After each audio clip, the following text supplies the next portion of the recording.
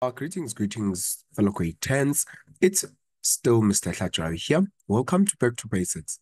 What we are doing now, we are still looking at our statistical reasoning and we are attempting our November 2021 paper, right?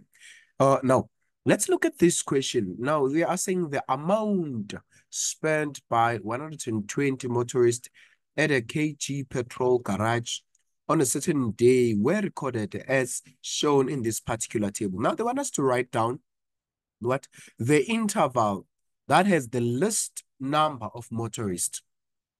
So now when you look at this, now you can see that the number of motorists are going to be this one, right?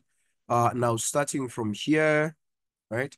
So which means it's 12, it's 38, it's 42, it's 20. So which means now the least it's going to be this one, right? And what is therefore going to be the interval? So the interval for the least number of motorists is going to be uh the 200 uh to what to 250, right?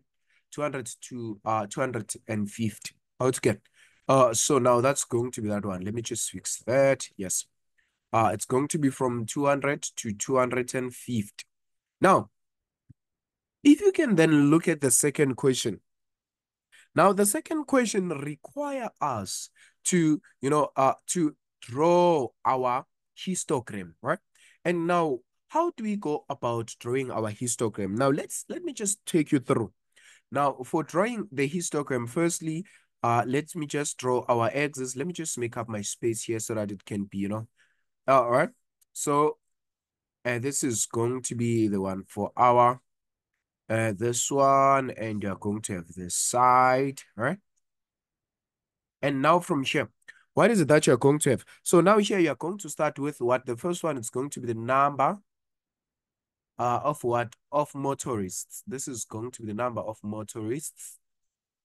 And then now here, it's going to what? It's the amount spent. Here, this is going to be the amount spent, right? So now let's see. So now, uh, for example, here we can use the scale of 25. So if you can say zero, this is 25 uh, let's say 25, 50, uh, 75, right? Look at this, 75, a 100, uh, 125, uh, then this is going to be what? This is going to be 150. This is going to be, uh, what? 175. This is going to be 200. And this is going to be two, let's say this is 225 and then we are going to have 250, which is going to be the last one, right? Now, let's see. What is it then that you're going to use now from here? And then now from here, for an example, we can use the scale of what? Uh, we can use the, uh, the scale of five, right? If let's say here we use the scale of five, this is going to be uh, your five.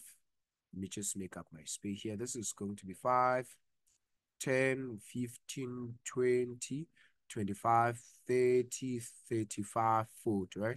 So this is 5, this is 10, 15, 20, 25, 30, 35, uh, and your 40, right? You can have your 45 here, right? 45 somewhere here at the top. Now, so what is then that you're going to uh, have after that?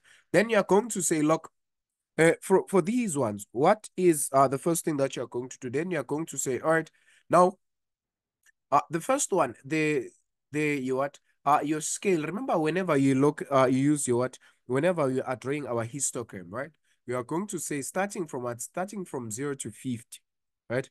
Starting from zero to fifty. How many do you have? From zero to fifty, you have twelve, and twelve is somewhere here. So this is going to be twelve, right? Uh, this is 12. This is from 0 to what? This is from 0 to 50, right? This is from 0 to 50 look at my line, but yes, sure, surely you can see that. And now from 50 to 100, what is it that you're having from 50 to 100? You're having 38, right? From 50 to 100, it's 38. So, and your 38, it's somewhere here, right? Uh, it's somewhere here. And then now, uh, and from here, you also have this one up until, uh, right? Uh, this is from here. Yes, so that's going to be this one, right? So that's going to be a 38. And after 38, then you're going to have the, the longest one, which is going to be having, I think, 42, if I'm not mistaken. So the, this one is going to have 42. Let me just write it here. Right? So this is 42. And then this is from what? This is the one from uh 10 to 150 or 100 to 150, if I'm not mistaken, right? So that's going to be that one. Please excuse my graphs. Uh, right?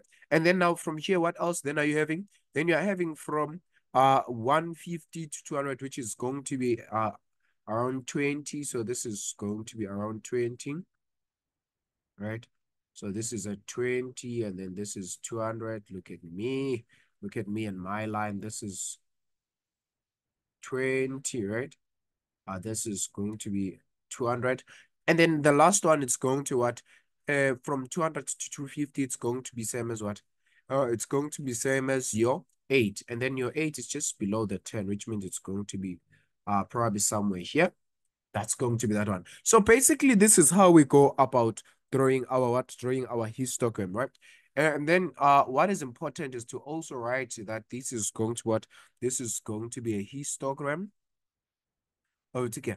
Now, if you have space, uh, you are going to say the histogram of the number uh, of uh, motorist versus what? Uh, the amount spent. Okay. So that's going to be firstly how you, you, you do that. Now, they want us here to identify uh, in which of the interval, uh, in which of the interval, right? So they want us to identify, to say now, in which of the interval, uh, which of the interval will have what? So they want us to identify from the interval where we are going to have the 30, uh, the 30th percentile. And whenever we are having the 30th percentile, what is it that you are going to have?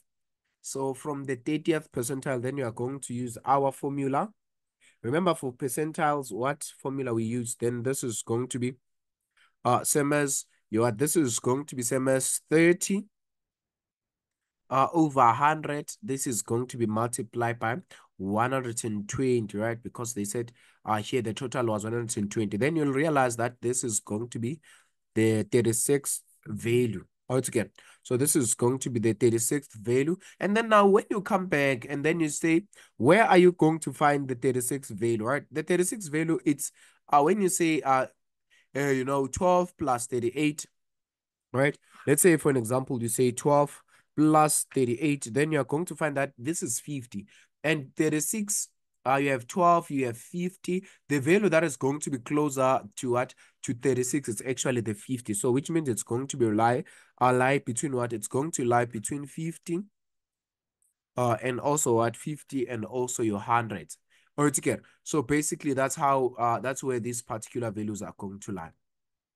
Now, they want us to calculate the size of the angle that will represent the modal class of uh, in a pie chart. This one is almost easy because we know that pie chart it's given by 360 degrees, right? So which means now we are going to say uh, the mode, the mode is what? The mode is 42, which means we are going to say 42 uh, 42 over what? This is going to be 42 over 120, then multiply by 360 degrees now. And then the angle that you're going to have, this is same as 126 degrees get. So basically, that's what you're going to have. Now, as soon as you have this, uh, then you are in a position to answer all these other questions, right? Hopefully this now it's making sense. And thank you very much for watching.